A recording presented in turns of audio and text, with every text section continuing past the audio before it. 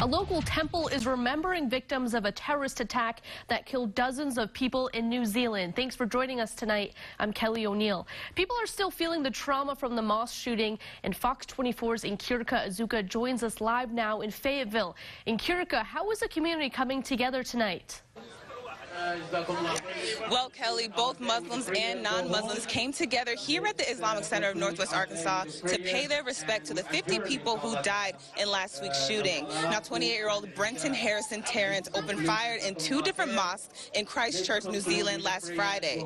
Even though it happened thousands of miles away, Muslims here in Northwest Arkansas felt the impact of the shooting. Community members and leaders were invited to the mosque today to stand with them and stamp out hatred with compassion and mercy.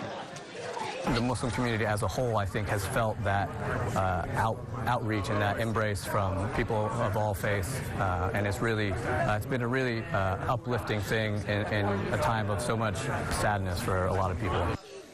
Bilal Ziada, who is with the Islamic Center of Northwest Arkansas, says this type of event is a good way to stay focused on the victim and not give the shooter a platform. Live in Fayetteville, in Azuka, Fox 24 News.